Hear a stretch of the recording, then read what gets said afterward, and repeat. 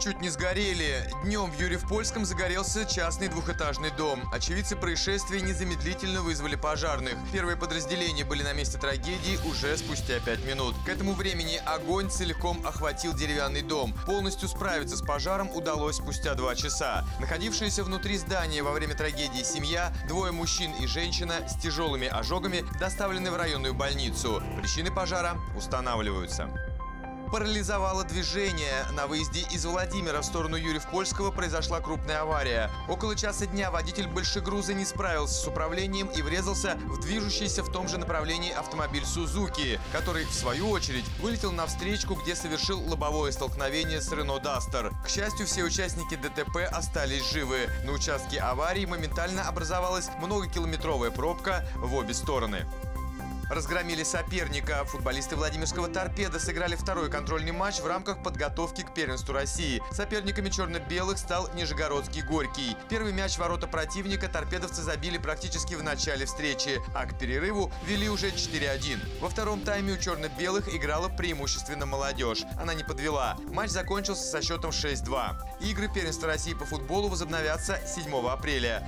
Первый матч «Торпеда» сыграет на домашней арене против футбольного клуба «Луки энергия.